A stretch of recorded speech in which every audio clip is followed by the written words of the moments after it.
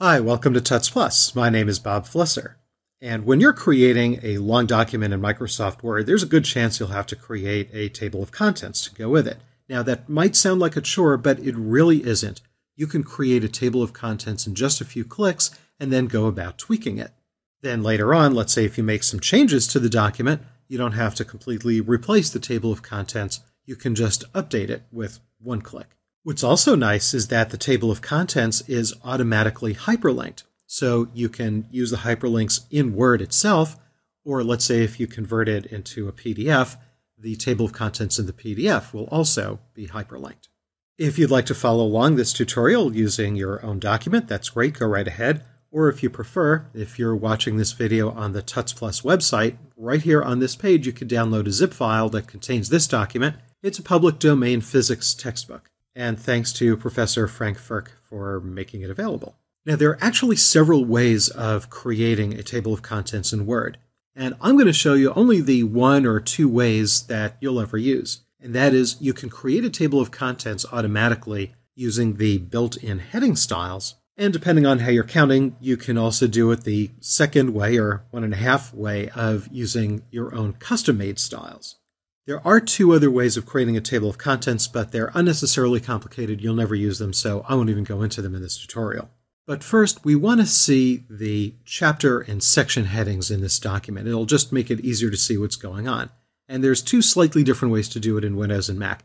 I'm right now using the 2013 version of Word, so I'll show you that first. And this will also work for the 2010 version. If you go over here to the View tab, click the View tab, and over here turn on the navigation pane, now you can see all of these headers. So I can click on Introduction, and I can see that's a major header.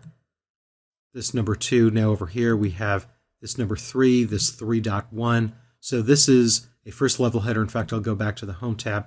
I can see this number three, that's heading one. This 3.1, that's heading two. And if I go down here to this 3.3, I can see that's heading three. So this is what Windows calls the navigation pane. Let's take a look at the Macintosh. The Mac calls it the document map pane, and it doesn't matter which tab of the ribbon you're on. On the general toolbar, you can click this button right over here for document map pane. Now, if you don't see the document map pane, if you see one of these other items, you could click this little arrow here, this little drop down arrow, and then choose the document map pane instead of one of these other options. And then you can see over here on the left, it's the same exact thing. Okay, so now let's go and insert the table of contents. Let's go up here to the References tab, and we want to put the table of contents at the top of page 2. Now you could scroll there if you want, but a little shortcut here is in Windows, press Control G, or on the Mac that would be Command G, type 2 because you want to get to page 2, and then just press the Enter key. And I'll just close out of here. I'll hit the Escape key. So now I know I'm at the top of page 2, and you can see down here in the lower left. I find that shortcut easy to remember because Go begins with the letter G. So in Windows, I'm over here on the References tab. I'm going to click over here on the Table of Contents button, and you see I have some automatic formats. And I'll just choose this table number two, and boom, there it is. Let me scroll back up, and you can see there is my table of contents. It just gets inserted. You notice that when I move the mouse over the table of contents, it gets kind of gray that's how I know it's a field. There's the update button. We'll look at the update button a little bit later. Also, I was talking about hyperlinks. If I put my mouse pointer, let's say, over one of these items, see the little pop-up says control click? If I hold the control key down, mouse pointer changes to a hand, and if I click, boom, I go right to that item.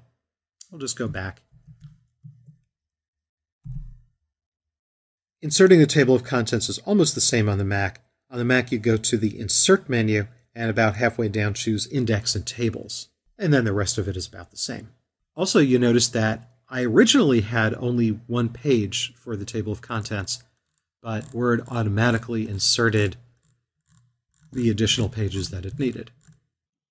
So that's what I consider the first method, is creating a table of contents from the built-in styles, heading 1, 2, and 3.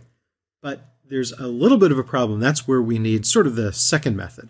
And you see the first item here in the table of contents is the introduction. And you can see over here on the left in the navigation pane or the map pane on the Mac, the first item is introduction. But if we scroll down here or use the page down key, you notice that there's a preface. And it's only after the preface that we have the introduction. So what if we want that preface in the table of contents? Now let's go to the Home tab for a moment. When you click inside preface, you see that's not heading 1, 2, or 3. It looks almost like heading 1, but it's a style called large heading, and that's just a custom style. Now, if we scroll down towards the end, actually I'll use the navigation pane. If I go here to 7.4 black holes and go right after that, you see we have an appendix. And if you click the appendix, then you see it's also that same custom style. So we want to include the appendix in that preface, and you see they're both using this large heading style. So this is sort of what I consider the second method. Let's go back to page two. However you want to do it is fine. And let's just remove the table of contents. I'll go back to references, table of contents, remove table of contents, and now it's gone. And creating a table of contents from custom styles is almost the same in Windows and Mac. What we'll do is we'll go back to where we were before the table of contents drop down. But instead of choosing one of the built-in tables, let's go down here towards the bottom and choose custom table of contents. That brings up this dialog box. If you're using a Macintosh, you would go back to the Insert menu and choose Index and Tables about halfway down, and that would bring you to basically the same dialog box here. You see, if you were to turn this document into a web page instead of a PDF, you would have these automatically hyperlinked entries in the table of contents. But right now, we want to go down here and choose Options. And you see here in the Options dialog box, it shows us some of the different ways that we can create a table of contents.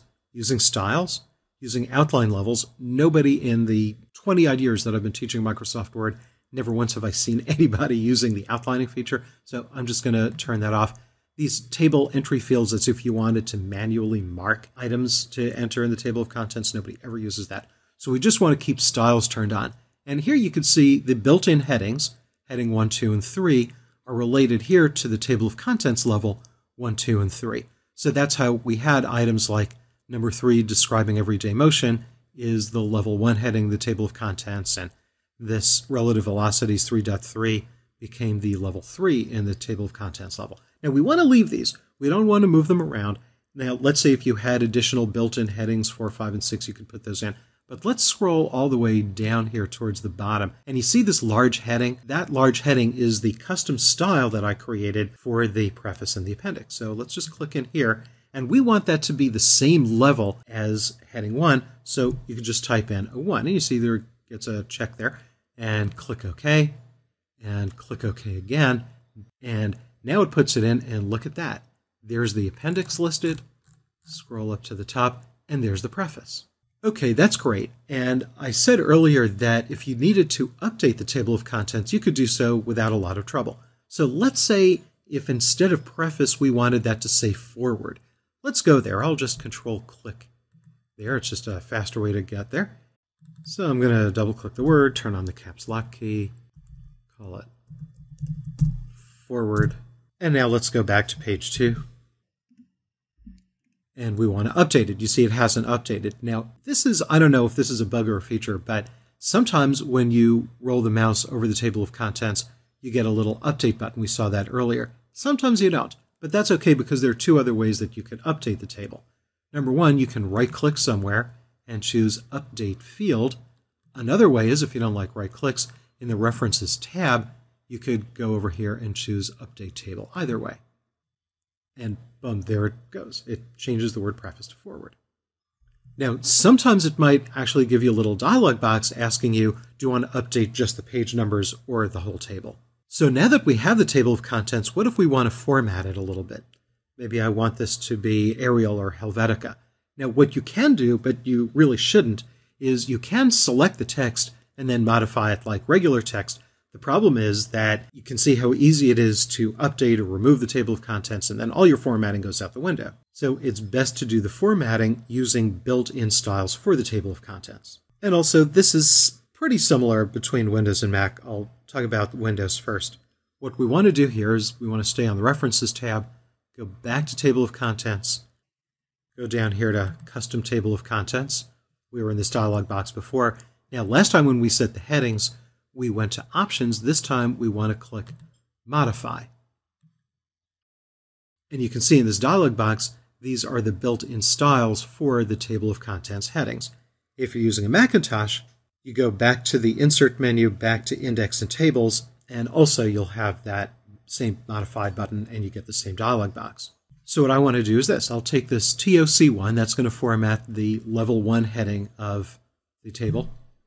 I'll go here to Modify, and this is just a regular Modify style dialog box. So instead of Times Roman, I'll click this, and I'm going to choose Arial. If you want to choose Helvetica, that's fine. And 12 points is good, but I want to make that bold. Click OK. And now I'll take that TOC2, that's for the second level headings, go to Modify.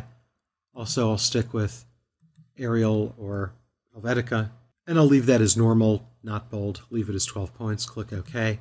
And now I'll take the level 3 heading, go to Modify, same font, but I'm going to make this, let's say, 10 or 11 points. Click OK.